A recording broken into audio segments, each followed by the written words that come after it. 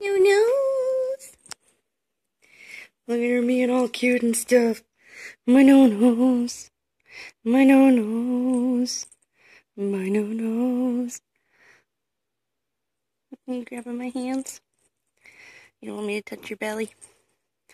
Well, you're not gonna bite me, are you? Nope. You're not a biter. You're a kisser. Yummy no nose. I wish I had better light in here because I can't really see your features. Let me see that cute face. No nose. Yummy no nose. Her tail is really cute too because it curves like that. When she's running, it's all cute. No nose. My no nose. It's a bit unfortunate that we have a feral in my computer room because I used to leave the door open and they would all come and visit me.